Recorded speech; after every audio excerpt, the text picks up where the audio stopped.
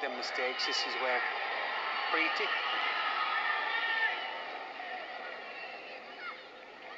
Oh, we got a good bit to play. We're going to get another goal.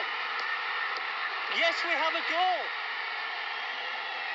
Who is it? I know Bhandari made it. Oh, it's Rekha Poudel. What a lovely goal that was. What a good bit of play from Nepal. Let's have a look at that a little bit more closely in the replay. In the 59th minute of play,